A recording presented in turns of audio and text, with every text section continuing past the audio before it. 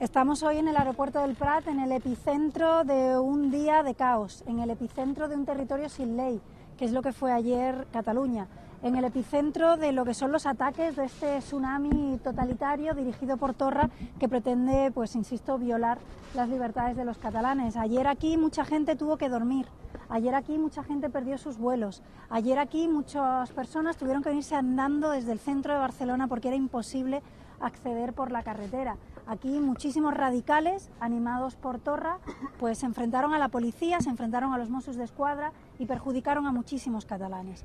Nosotros hemos recibido muchas llamadas de personas simpatizantes de Ciudadanos, incluso algún miembro de Ciudadanos que ha sido directamente afectado por la cancelación de los vuelos, que no saben a quién acudir, porque evidentemente no van a acudir al gobierno de la Generalitat que anima estos ataques totalitarios y tampoco pueden acudir al gobierno de España que ayer mismo quitaba hierro a lo que se sufrió ayer en Cataluña.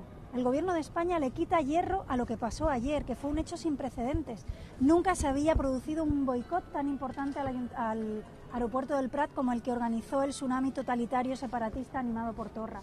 Y por tanto lo que queremos es dar voz a todas esas personas que hoy han tenido que dormir en el suelo, niños, ancianos, bebés, durmiendo hoy en el aeropuerto del Prat porque no podían salir de aquí, porque no podían coger sus vuelos, porque no tenían otra alternativa. Somos la voz de todos esos catalanes que ayer se quedaron en su casa con miedo, de todas esas personas mayores que cancelaron una cita con el médico, de todas esas familias que no pudieron llevar a sus hijos al colegio o que incluso no pudieron ir a recogerles por el caos totalitario del separatismo. A todas esas personas que querían seguir sus clases en la universidad, pero que algunos radicales no les dejaron.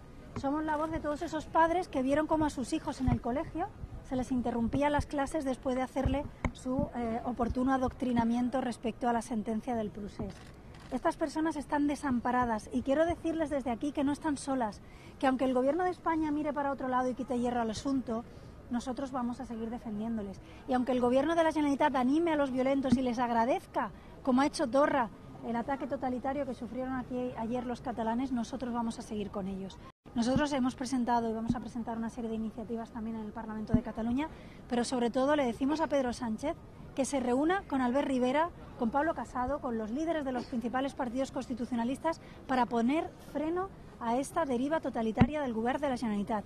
Yo sé que Sánchez gobierna con Puigdemont en la Diputación de Barcelona, pero ahora no es el momento de defender a sus socios separatistas, es el, el momento de defender a los catalanes indefensos. Y por eso seguimos insistiendo en esa petición de reunión que ha hecho Albert Rivera, porque ha sido muy curioso. Hoy el señor Ábalos no descarta reunirse con Torra pero ayer Pedro Sánchez descartó reunirse con Albert Rivera. Esa es la situación que tenemos en Cataluña. Y Albert Rivera le quiere plantear propuestas concretas, como que no dependa de la Generalitat de Cataluña el cumplimiento de la pena de estos eh, acusados y ya condenados por el procés, porque ¿saben ustedes lo que puede pasar? Que estas personas condenadas dentro de unos pocos meses estén en la calle porque los permisos se los van a conceder sus compañeros de partido. Y eso va a indignar a muchos catalanes, que sufrimos cada día el señalamiento, cada día los ataques, cada día la falta de libertad. Quiero poner de manifiesto, como ha hecho mi compañera Lorena Roldán, que de nuevo hoy alguna sede de Ciudadanos ha amanecido atacada, que de nuevo hoy el comercio, humilde comercio de los padres de Albert Rivera, ha vuelto a amanecer atacado. Esta es la realidad de los constitucionalistas en Cataluña.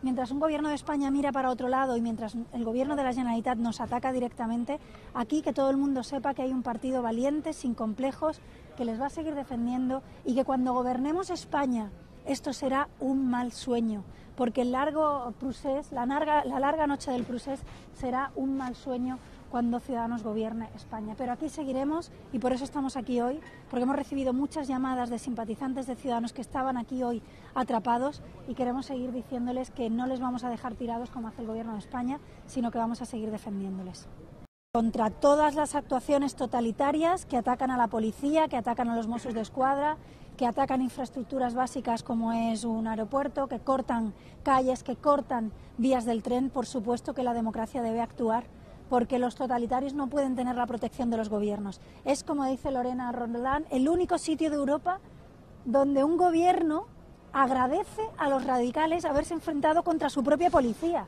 Esto no tiene precedentes. ¿En qué país del mundo, en qué cabeza cabe que un gobierno pueda agradecer a unos radicales que hayan atacado a su propia policía?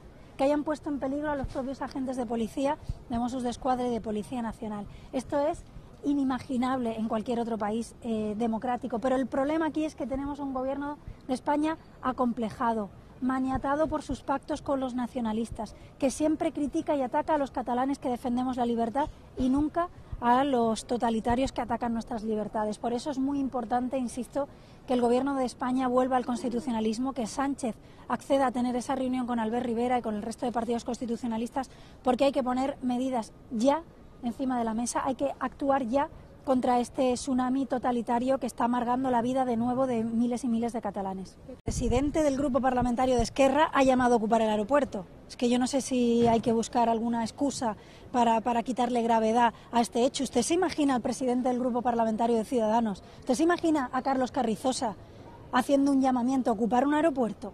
O haciendo un llamamiento a ocupar la Generalitat de Cataluña. ¿Ustedes se imaginan esto? ¿Ustedes se imaginan lo que estaríamos diciendo aquí si Carlos Carrizosa, como presidente del Grupo de Ciudadanos, hace un llamamiento para ocupar la Generalitat de Cataluña o el, Palacio de San Jaume? La Plaza de San Jaume, es que, es que claro, eh, estamos aquí ante, ante lo inédito ante lo que no se puede justificar. Lo preocupante aquí no es que Esquerra haga lo que hace, que ya sabemos cómo son. Lo preocupante aquí es que el Gobierno de España diga que no es tan grave. Eso es lo preocupante.